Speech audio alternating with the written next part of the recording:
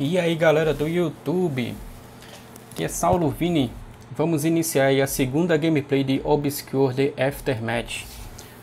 Então lembrando pessoal, quem puder deixar um like aí, se inscrever, deixar um comentário, agradeço bastante. Espero que tenham gostado aí da primeira gameplay, tá? É, quem estiver acompanhando aí, tá? Eu vou deixei uma playlist salva no canal, então vocês podem acompanhar todos os vídeos lá então vamos iniciar aqui a segunda gameplay, tá? Aqui é exatamente de onde a gente terminou a primeira, a gente vai continuar aqui a segunda, tá pessoal? Então vamos lá. Agora aqui a gente já pode acessar o menu, tá? Então a gente tem aqui dois novos personagens, Kenny e Amy. E aí a gente já tem uma pequena descriçãozinha ali de que cada personagem faz, tá? O Kenny, é, ele é um personagem de força. E a Amy é uma personagem de decrypting, que é que ela faz é, decriptação, tá? Ela desvenda, vamos dizer assim, os quebra-cabeças, que são coisas bem simples, tá? Aqui a gente tem uma janela do nosso, das nossas armas. A gente aperta o R, a gente vê, visualiza os itens, tá? Aqui a gente só tem esse Energy Drink, que recupera a nossa vida. E aqui a gente tem uma descrição dos personagens, tá?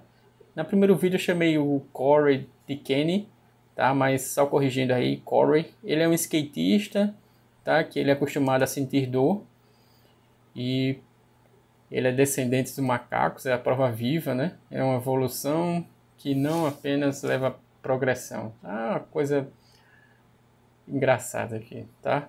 Mas resumindo, ele é bom em, em acrobacias, tá? Ele, ele salta, ele se pendura, Aqui é a May. May que é a namorada do Corey, tá? E ela é boa em hacker. Ela consegue hackear os, os computadores, os painéis de acesso das portas, tá? Aqui é o Kenny, que ele é personagem de força, tá? Ele consegue arrastar as, as caixas. Ele consegue abrir caminhos, tá? Ele é jogador de futebol americano. E aqui a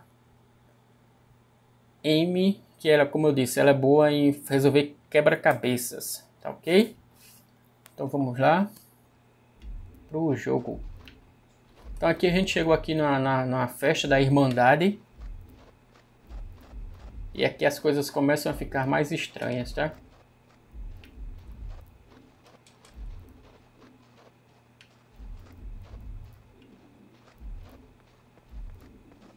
Não é por aqui, mas eu vou tentar entrar aqui só para ver a cutscenezinha que aparece.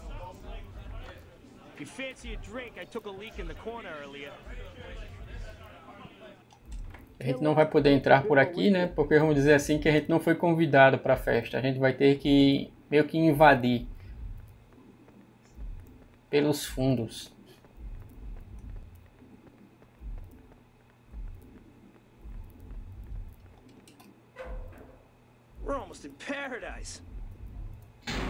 Se vocês repararem, ali no canto superior esquerdo, tem dois ícones tá? de desafios. Esses ícones, é, eles indicam que a gente pode ganhar conquistas por zerar o jogo sem abrir nenhuma caixa, que é aquela caixinha que a gente precisa das três chaves para poder abrir. E outra conquista se nós não é, fizermos o upgrade da nossa bateria, tá? Mas essas conquistas aí eu não vou pegar porque eu vou tentar fazer uma gameplay mais completa na primeira run, tá? Então, basicamente, se você quiser platinar esse jogo, você vai ter que zerar ele duas vezes, tá? Uma vez pegando tudo e a outra vez mais difícil sem pegar essas, essas melhorias. Basicamente, naquelas caixas que a gente abre com as três chaves, vai ter armas novas, tá? Armas como o, a arma de choque, vai ter a arma de, de, de que atira flecha, que faz um brilho, tá? Então aqui a gente vai precisar subir ali naquela janela. Então a gente vai empurrar aqui essa, essa caixa para poder subir em cima dela. A menina aqui me atrapalhou minha passagem.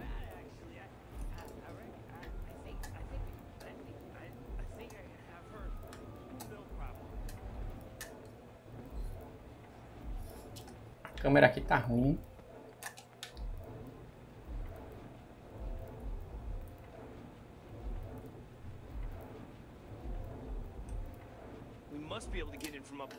Ok, então a gente posiciona a caixa aqui, tá? Sobe. E aí a gente vai invadir a festa pela janela. Que vocês vão ver que foi uma péssima ideia, tá? Aqui uma dica que eu dou para esse jogo. Fiquem bastante atentos a locais que tenham vidro, tá? Porque a gente quebrando o vidro, a gente vai encontrar bastante coisas, tá? Itens nos armários, janelas que a gente pode passar, então fiquem bem atentos em relação aos vidros, tá?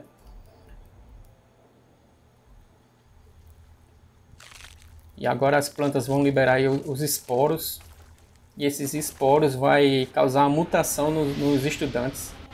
Eles vão se transformar em monstros, né?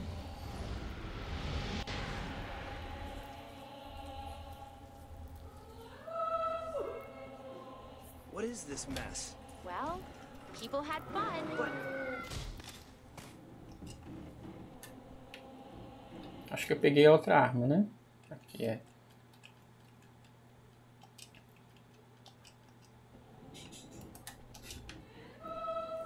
Aqui vai ter uma chave. A gente precisa pegar três chaves dessa para poder abrir a caixa.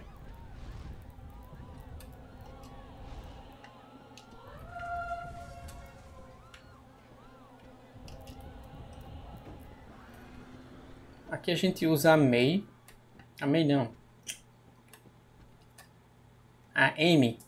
Para poder fazer o nosso primeiro quebra-cabeça, tá? Engravings? They're hiding something. E ela vai usar toda a sua habilidade para poder encontrar esse número aí secreto. 1873. Tentar decorar aí que a gente vai poder vai usar esse número para abrir um, um cofre, né? E pegar a nossa pistola. 1873.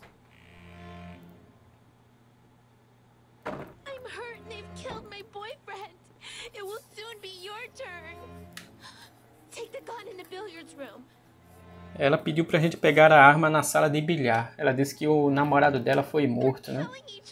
Que eles estão se matando lá. Eles se transformaram em monstros, né? Como eu disse, aqui tem um armário que tem uma chave, tá vendo? Então a gente quebra o armário aqui, pega a chave. E a gente precisa de mais, umas, mais uma chave para poder abrir o, o primeiro baúzinho, né?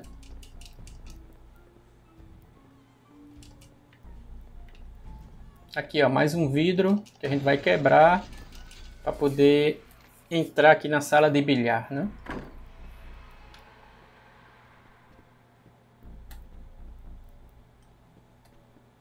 Ok, aqui a gente vai colocar a, a senha, né? Do cofre. 1, 8, 7, 3. There it is. Now that I like. Eu recomendo, tá? Que vocês não deixem o o computador ou a inteligência artificial ficar com essa arma, porque ela vai gastar bastante munição, que não é o que a gente quer, tá? A gente quer economizar munição.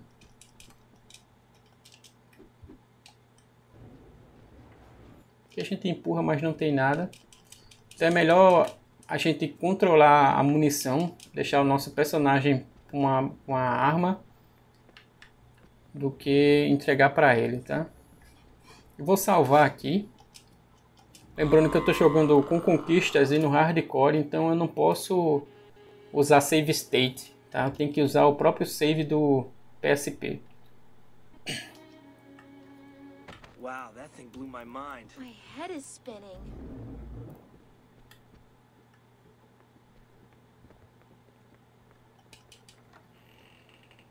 Então vamos lá, aqui a gente vai ter nosso primeiro monstro.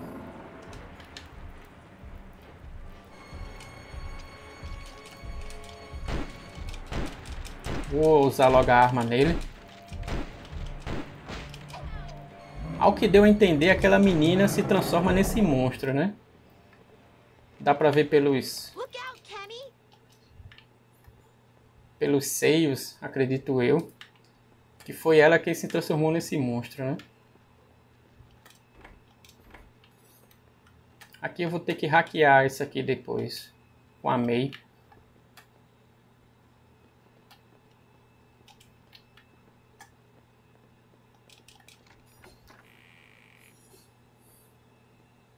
Então, que deu a entender, as meninas se transformam nesse monstro mais gordinho e os homens se transformam naquele outro monstro que a gente vai encontrar aqui agora.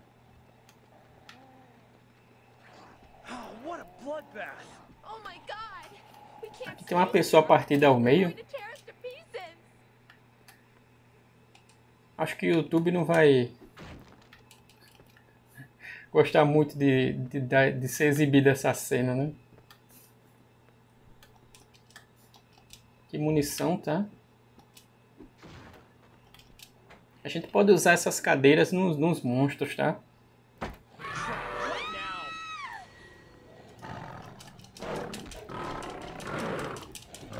Eu vou usar a arma de... O taco mesmo.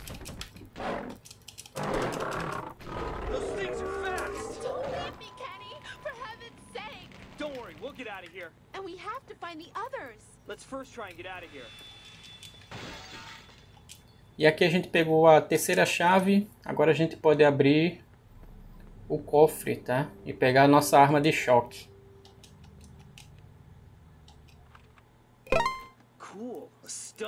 É como vocês podem ver, o primeiro desafio que era zerar sem abrir nenhuma caixa dessa, eu perdi, tá?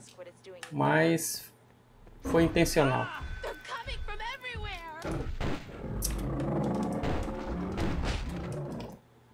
Essa arma de choque eu vou deixar com ela, porque essa arma de choque a gente pode recarregar. Então não tem nada, não tem problema dela gastar.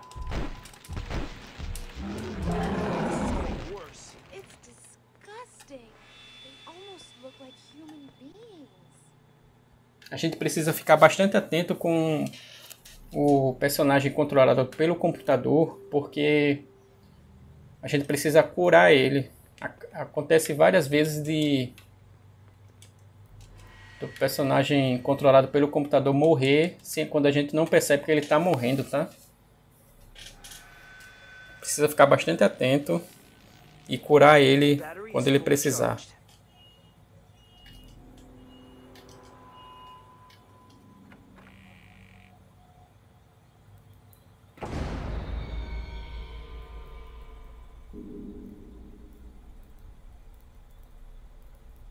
Beleza. Aqui tem mais um item de cura. The flower. That's what we smelled at Sven's. What if that caused it? Stay calm. Oh my god. They really had no chance at all. é. Todo mundo virando monstro, né? Ele pedindo para ela ficar calma. Aqui vai ter outro quebra-cabeça. Como eu disse, é algo bem simples, tá? Só montar um, um quebra-cabeçazinho pequeno. E a gente vai pegando cada parte dessa e vai encaixando aqui.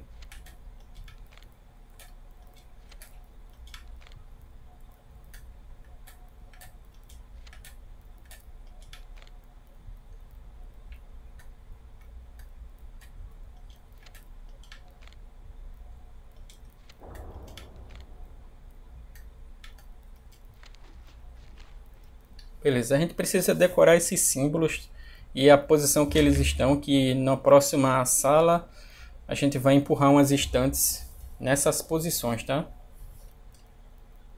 Mas o... essa imagem vai ficar salva no inventário, então a gente pode acessar caso a gente se esqueça. É só a gente vir aqui em itens e aí a imagem está salva aqui, tá? They're letters in the Greek alphabet. The Brotherhood use it to dis...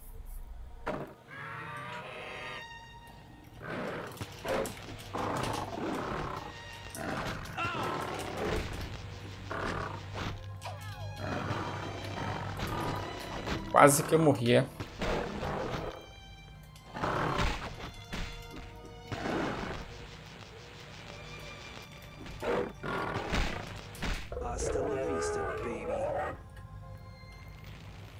Recarregar aqui. The battery is fully charged.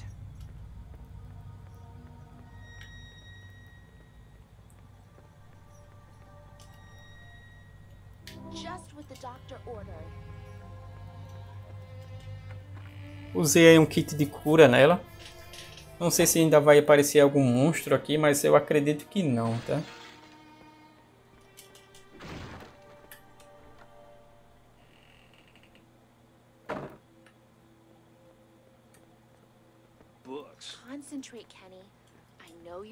Dá uma investigada aqui, ver se encontra algum item.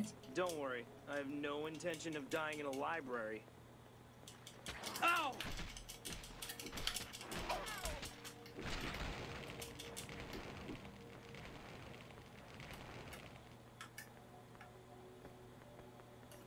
Beleza, primeiro esse aqui a gente vai deixar lá em cima, no canto superior esquerdo.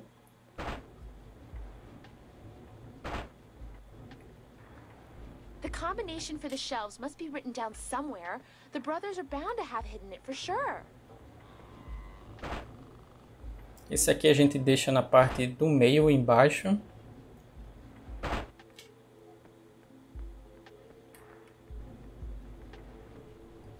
E esse aqui na parte direita de baixo.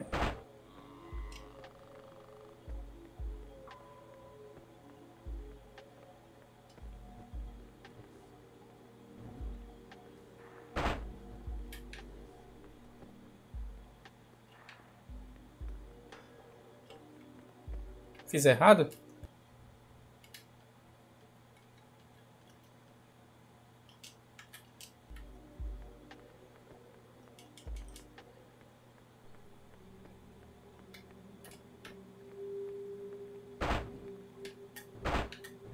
Tem que deixar bem no meio, eu acho.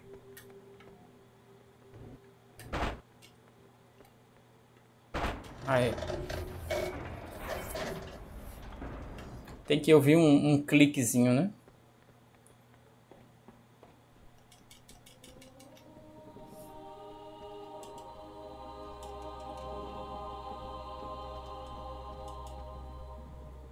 Ele está se aproximando aqui do final do capítulo 1. Aquele gameplay anterior foi do prólogo.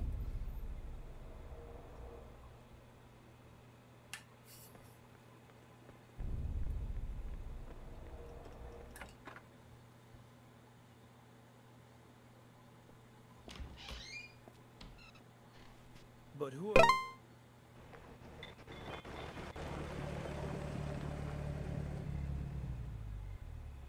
Why do we always Beleza, então terminamos aí a segunda parte da gameplay, tá? E agora